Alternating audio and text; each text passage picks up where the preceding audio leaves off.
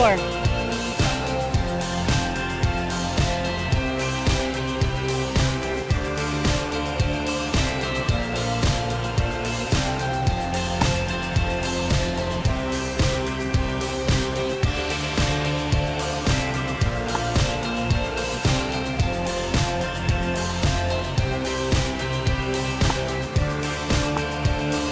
Ah!